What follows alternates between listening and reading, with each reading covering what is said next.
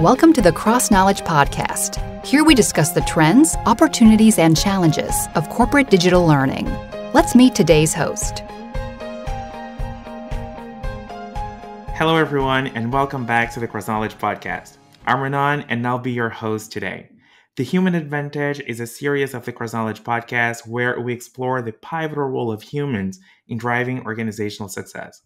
The idea is to hold candid conversations with business leaders and experts who have demonstrated a deep commitment to fostering a more human workplace.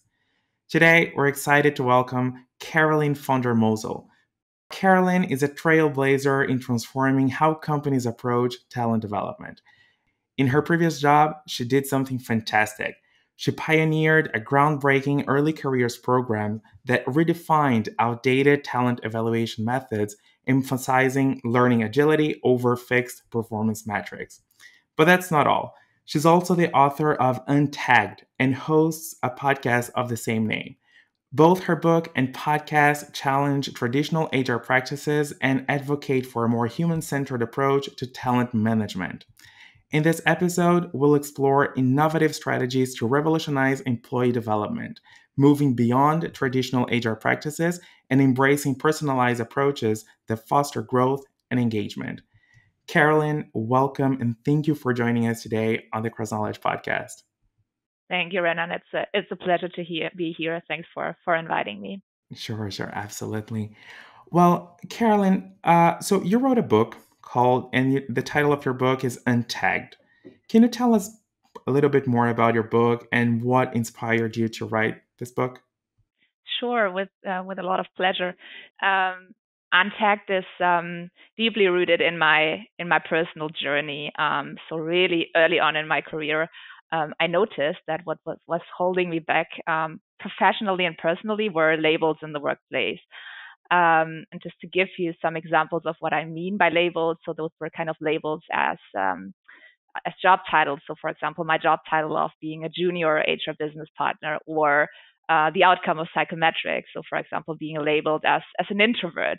Um, that without kind of yeah consciously being able to to to name it as a label, but that was something that was holding me back. And I only noticed that a lot of the HR practices were actually connected to that when I kind of um, advanced in my in my HR role.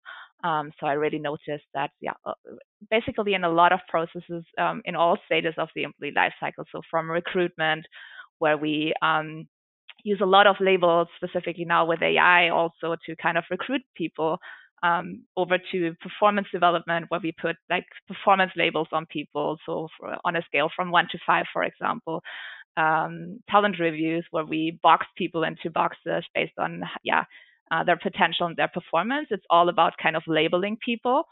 And um, yeah, that um, together with my personal experience, I just kind of, yeah, went on a journey to discover how useful those labels are. Um, specifically in the in a world that is um, very volatile and very um, yeah changing very very quickly. Um, just to explore like for organizations and for individuals how how useful is it to put labels on people and what alternatives do we have yeah, that's very very interesting, and I really like what you said because actually it goes along with uh, with the idea. Well, the world is so volatile at the moment, so how can you tag someone in a volatile world? I really like that questioning. Um, so, how have the concepts and ideas from your book influenced your approach to L and D? Um, yeah. So basically, what I'm explaining in the book is that I kind of really go back to what labels are. So what characteristics do, do, do labels have? And anyone who's done an unconscious bias training knows that we kind of we need labels. They're kind of essential to to survive. So if we see you see someone across the street that you don't know whether to trust that person, yes or no, then um, you kind of actually have to label that person based on what you've learned in the past about people who have maybe similar physical um, aspects as that person that you're seeing. Um, so you kind of really have to go back to what you learned in the past um, it is always one directional. So that is another characteristic of labels that it's kind of, you actually don't have time to get into interaction with that person. It's one directional. And then it's also always based on shortcuts. So for example, that person, I don't know, having a tattoo or wearing a specific jacket. And so that those are kind of the characteristics of labels. As, as I said, like it's, it's in many situations, it is um, it is essential just to to survive and just to make quick decisions. Um, so like if you think of um, the fact that you essentially receive um, 20 million bits of information per second, and uh, you're consciously only aware of 40 to 50 um, of, of, these bits of information. The decisions you take are always biased, so that is something that um, that kind of yeah you can't really kind of question. Uh, and that is also happening in the in the HR field. So like specifically when it comes to recruitment, when it comes to performance decisions, I think that's something that is just human and that is kind of al- almost inevitable to to be biased to to a certain to, a certain degree. Um, you can be more or less conscious about it. You can do co- unconscious bias trainings. But what I'm explaining in the book is essentially the fact that a lot of HR practices um, kind of they deliberately use those labels and exactly the same characteristics um, and just to be more strategic or more data driven and um, essentially those three characteristics of labels being past based being word based um, and being done to you and being like one directional is something that um, has significantly shaped how I view uh, learning and development nowadays. Uh, so let us start with the first one, um, something being done to you or one directional. I think that is really a big one, specifically when it comes to creating learning content, right? So um, yeah, sometimes it's assumed that the more you create, the better, and that you just put it out there, uh, but without like actually asking the population, asking the employees, what is what do you need? What is it that you actually want to dive into? How helpful is it? Which learning formats do you um, do you prefer? Um, and so that is kind of similar to imagine at Christmas being handed a pair of ugly socks and you kind of, it's still a gift and you maybe to be polite, you put the socks on, but how useful is it um, for the individual? Like if you don't like it, if you don't use it, um, and and I think the perception of a lot of L&D departments is yeah that we're still creating content. It is still a gift to people. Well, it's it's not. Um, and so that was really my my first learning and the first connection from from what I've learned in the book to um, how I approach learning and development. So like it's not yeah it's it's not creating content for the sake of creating content, but really looking at formats that formats that serve people and also content that really kind of um, make make them advance in in their careers and in their jobs. Yeah, that's very interesting because actually it's really about personalizing the learning experience to the individual to that person who's going to learn, right? Exactly. It's it's all around that and also I'm a firm believer of the fact that we only learn in a sustainable kind of way if we're really connected to the topic, if we really see something that is connected to our purpose, if we see something that we're kind of personally invested in. Um, and if not, kind of the learning experience will be maybe you will kind of short memory remember something, but it will not something. It will not be a long lasting learning um, learning experience. So it's all about kind of really figuring out what people need on their journey to um, yeah to advance and learn. Um, and so like yeah connecting that to to their purpose like essentially kind of what is your learning purpose and then kind of how can we kind of on the way whenever you get to a challenge how can we provide the right resources for you to get there versus we throw out resources and we want you to consume them. So it's all about personalized learning experience for me is all about that, right? Or about kind of we kind of challenge you have a learning purpose, um, you want to get somewhere, and we kind of assist you on the way to get there versus um, throwing content at you. And so that was, uh, yeah, my first, um, the first uh, way of how I look at uh, learning and development differently based on uh, yeah, on, on, on my research from, from the book. Um, the second one is essentially around um, the fact that I, I, kind of explained it earlier when I talked about labels in the unconscious bias field, um, that labels are often or almost always based on what we've learned in the past. And I think that is the second biggest challenge for, for learning and development, that oftentimes we kind of just assume that the skills that were helpful in the past will be helpful in the future. Um, so we have like a maybe a, a skill catalog that we use over and over and over again, and that is simply simply not working. Um, just yeah, due to the fact that companies are changing, challenges are changing, um, and and also like personal needs are changing, um, and so that is kind of the second biggest biggest learning for for learning and development that it's all around analyzing the skills that are within your current job, also needed in the in the near future, uh, and that can yeah be done in, in two ways. It is either kind of asking the employees, so what what is it that you that is challenging right now based on kind of the new objectives or the new um, the new challenges that you're facing. But it could also be the company kind of doing an anal- analysis and seeing like what is what is needed, what are the new skills that are actually needed to get to where we want to go, or that are actually connected to the top challenges that we're having in the company.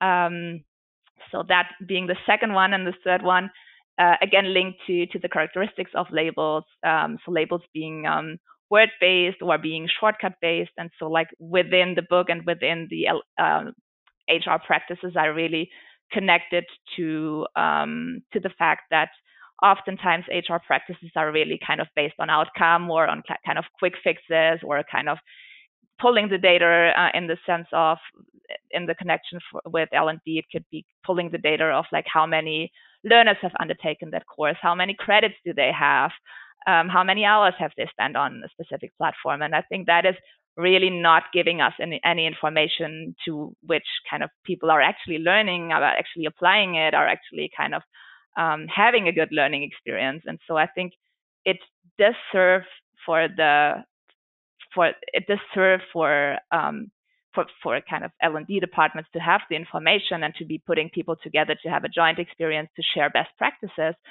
Um, but if we kind of just track the amount of, of hours someone spent on, on the platform or the amount of credits they have obtained, I think that is really a really tagged approach, so a really, really labeled approach to kind of just getting quick data and assuming that this is kind of getting it, giving us an answer on how, how good we're doing with our learning uh, learning strategy. So if I summarize your approach, so it can just like summarize like the first one is about like personalizing the learning experience to the individual. The second one is about selecting like the skills that is going to help the individual move forward. And this third one is about really selecting, uh, not being like so out, like platform based uh, data, but also like pretty much like getting everyone together. So then like the application of knowledge is happens. Is that it? Exactly, exactly, exactly. Um, so I think specifically the last one, it is you know, like just the, the learning experience. For me, it's all about kind of creating learning resources that help an individual in the moment they need it. So like I have my own challenges, I have my own tasks, and now I'm stuck. So where can I get the resources to get over that? Um, and then once I've learned that, how can I kind of share that with a group? How can I have people who are kind of maybe in similar uh, challenges and kind of creating those um, those those experiences? So for me, it's all around creating resources and experiences um, versus just courses and courses and courses. That's very very interesting. So you touched on that on this very very briefly on on your answer uh, on your previous answer, but what kind of HR and L&D practices can help remove traditional labels and stereotypes in the workplace? Um, yeah, so in, in, the book, I explore specific antidotes to to labeling, um, and two of the, the biggest antidotes are um, essentially uh, starting with the why. So, like starting with the purpose. And I, as you mentioned, I already touched a bit upon upon that topic. And so the idea here is really kind of before uh, looking into everything we do, whether that's learning, whether that's career progression, career pathing, um, whether that's rewards, um, it's all about kind of asking that individuals like, why do you want to do it? Uh, so what is your purpose behind it? And I think we oftentimes assume that people, the only purpose people learn or the only people, the only purpose people do something is a promotion or is a salary raise. And that is actually not true. There's like a lot of, um, yeah, a lot of other purposes and a lot of other whys people kind of pursue. Um, and so very, very practically for, for that one, um, there's uh, an exercise in, it's, it's from a course called, called uh, Management 3.0 from Jürgen Appelo, and he explores actually the motives for people to, to do stuff and to kind of, yeah, to, to learn, to advance, to, to why they do the, their, their job. And I think that is very, very practically a good example and a good exercise to kind of untag what good untagged example, uh, something that managers can use really, really practically to kind of looking at the different whys. So, which is relatedness, status, curiosity, acceptance, goals, power, freedom, honor, mastery, and order. Um, and so that is kind of really different different whys, different motives of why what people want to achieve and what they want to get out of work. And so if you explore that for the task at hand or for the job at hand, and if you explore kind of the connect whether that is connected connected actually to um, the objective that you want to achieve in a specific project, to kind of really put those two pieces together, um, then I think skill building and learning is, is just a byproduct of that. So for me, it's really exploring the purpose, exploring the why, um, then giving autonomy towards how it's being achieved, and then through that, kind of just assisting. So like whenever there's a blocker, how can I assist you? How can I give you the resources you need to advance in that specific skill?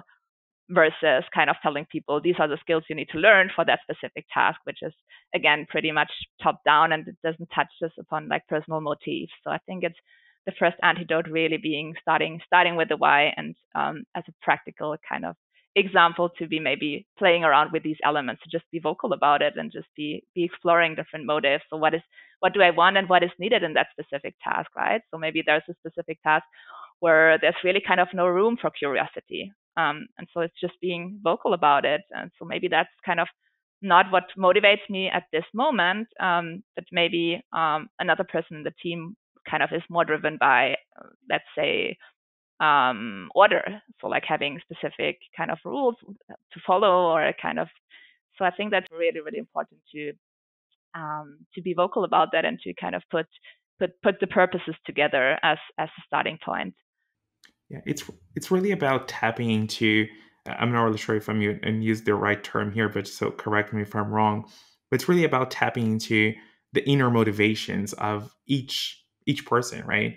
So like as you said, like we're starting like with the why, like why you, do you want to do this? I mean, of course, like there's there's also like accelerate raise and, ex- and, and external things, but also there's a co- inner component that is, is still there.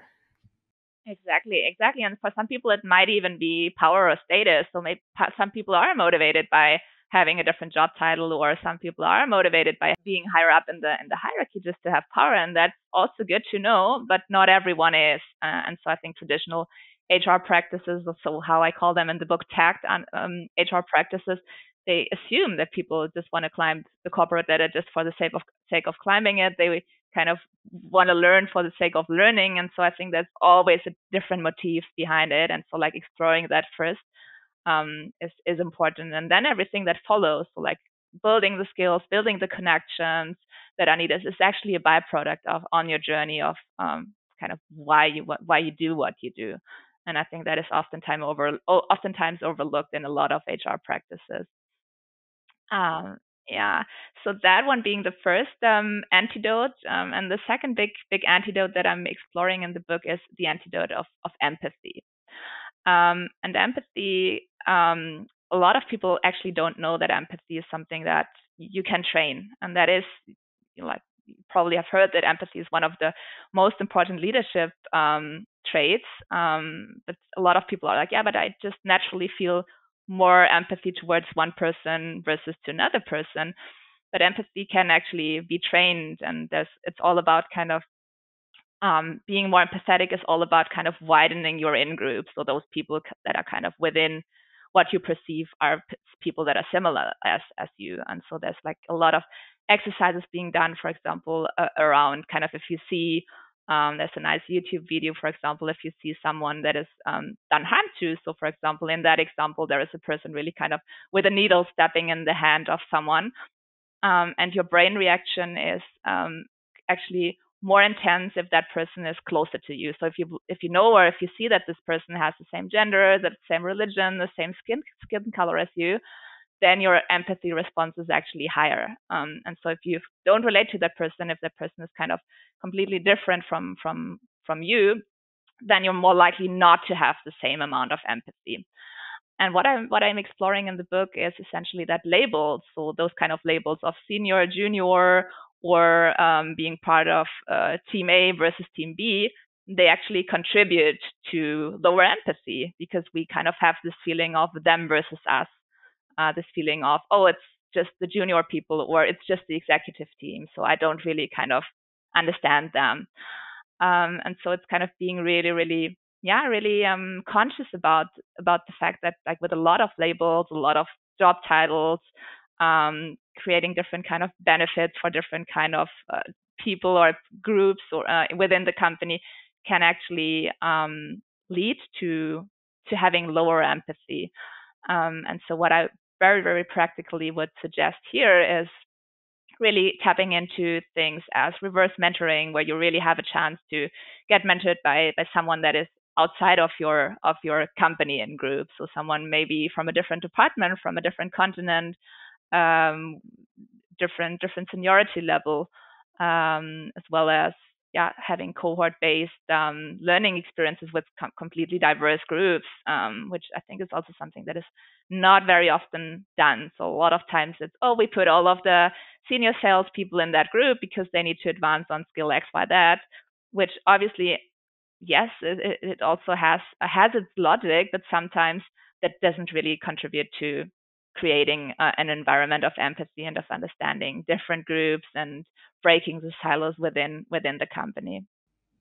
Yeah, what I find interesting is that uh, is it like the empathy? Because uh, actually, that remind I, I, don't remember the the exact the exact uh, statistic, but there was like a lot of people uh, in companies that were complaining about their their line managers uh, or their leaders because actually they they they lacked like essential human skills. So pretty much like soft skills like such as empathy as you just mentioned or uh, or like a more empathetic leadership like oh, well, that's what the term I, I forgot the stats but it, like the stats it was it was really really high. Like lots of people are complaining about leaders who lack that uh, that empathy to connect with them and really help them uh, move things forward. So it's really interesting that you touch on that as like this practice to remove the this traditional labels in, in, in the workplace.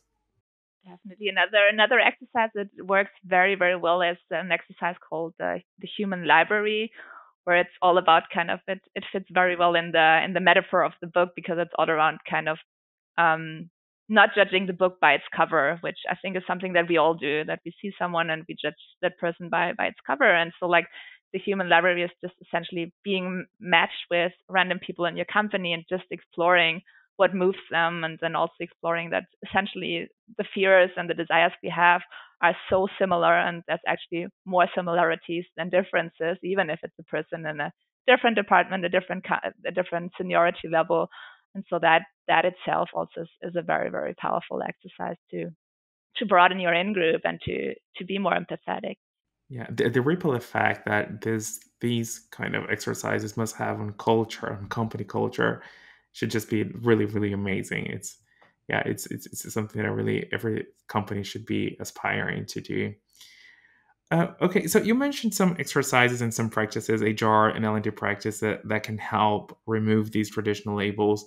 Uh, can you share a concrete example of the implementation of these practices that you led in the past?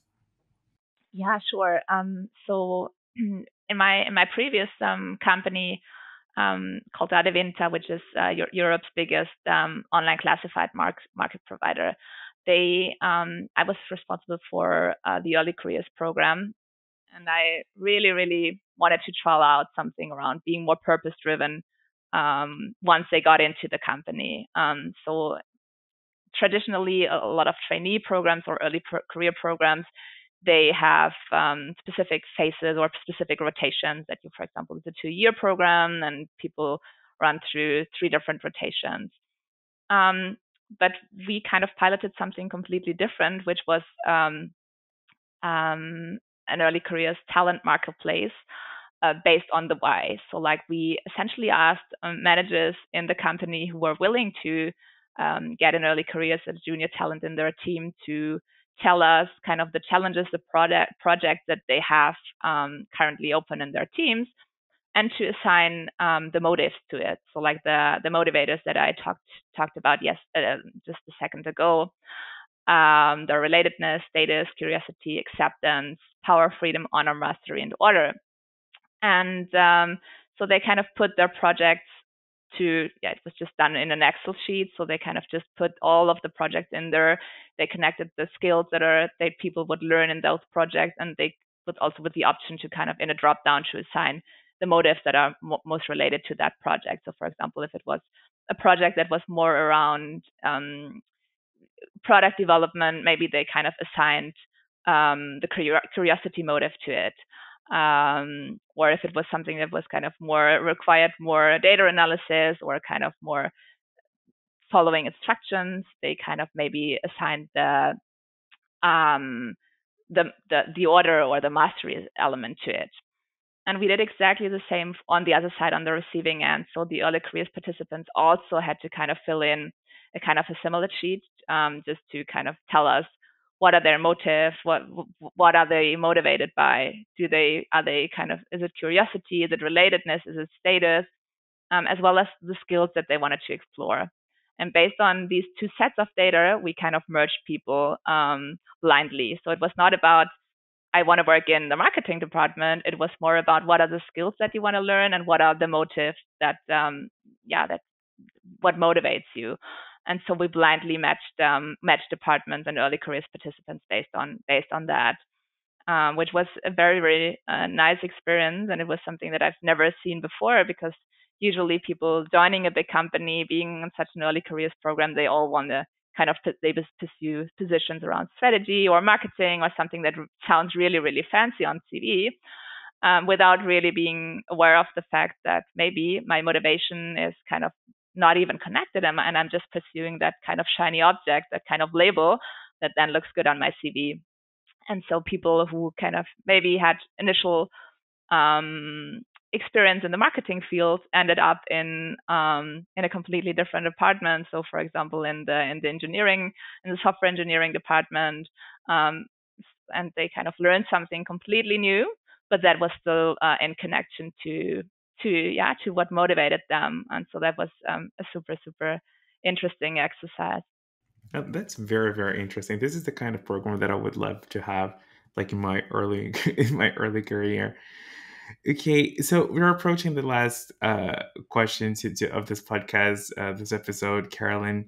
So what advice would you give to l&d leaders who are looking to revamp their employee development programs one that is you know that that follows this untagged movement that you launched?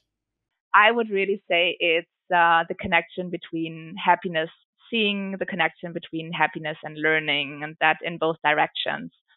So um, when we're happy we're more likely to learn in a sustainable way. So like if we really have a great um, environment if we really are happy at home at work then it's also and it's also scientifically proven that the hormones of uh, dopamine and serotonin they actually lead to us learning in a kind of drawing the connections quicker, memorizing things quicker, um, really connecting quicker to the topics. So that is kind of really kind of my first uh, advice for people to, to to really see that connection. So like that happiness leads to learning, but also the other way around that like if you learn and learning in itself is is the biggest perk and that's a lot of studies have done done on that. So like what do you want? What do you value in the workplace? And it's kind of not uh, the the football kicker or the, the the the free fruit. It's really kind of being challenged getting the chance to learn and being getting having an environment where you can actually learn.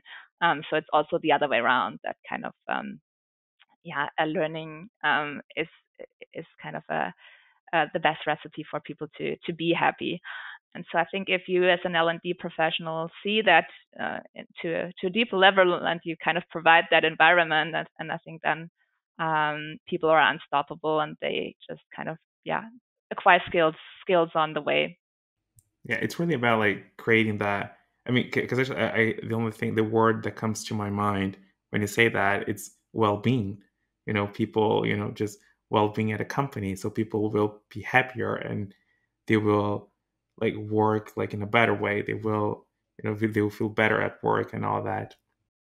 Exactly no and also like the valuing. I think we also speak a lot about valuing people and kind of engagement surveys but ultimately for me valuing someone essentially comes down to valuing that person with what they can bring to the table and valuing all of that people that person's strength and and and and and and helping that person to grow into into into that and tap into that and i think that is that for me is all around valuing people um, and so I think, yeah, I think really seeing that connection um, more deeply for me would be the biggest advice for for an L and D um, expert. Yeah, it's really about untagging those people, right? yes, yes, yes. In a certain, yeah, to a certain degree, yes, that's that's it. And also something that another connection between learning and happiness for me is also the fact that it's not binary. It's not are you happy, yes or no, or have you learned something, yes or no. It is really something that is building up on kind of if, maybe if I ask you, are you happier now than you were a year ago? Maybe you could answer that question. Um, and the same goes goes for learning. Um, it's not binary. It's maybe it's not about black and white. It's also like seeing that it's something that kind of builds up on each other, and that every day we kind of learn something small, whether whether we see that in that moment or not. But essentially, with everything we do, we do with every interaction, we do learn something and just seeing it as, as a continuum rather than as, as a binary black and white. It's very interesting. Carolin, thank you so much for your participation on our podcast. It was a real pleasure having you uh, with us today. Thank you for, for having me. Thank you for joining us today. We hope to see you again for the next episode of the CrossKnowledge Podcast. If you enjoyed this episode, please share it with your friends and colleagues.